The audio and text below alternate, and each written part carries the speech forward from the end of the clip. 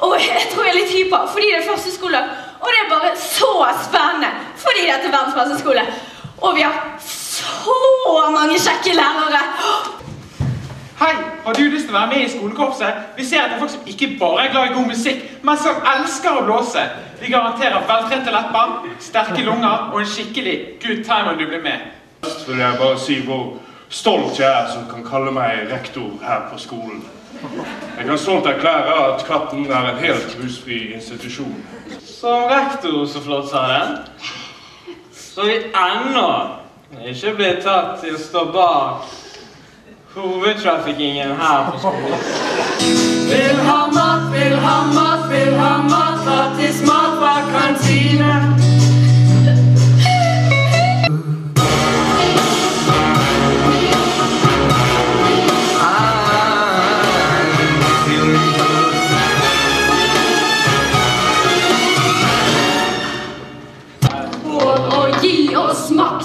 Makt. skam forrådet oss. Nå skal sjelen forduftes bort.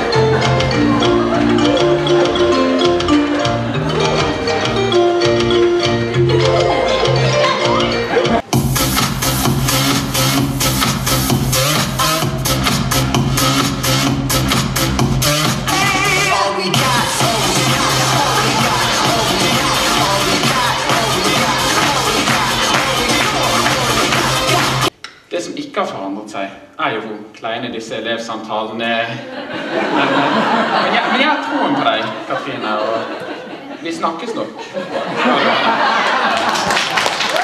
Kan ikke dere bare trykke på noen knapper og få det til å fungere? Jo, det er klart.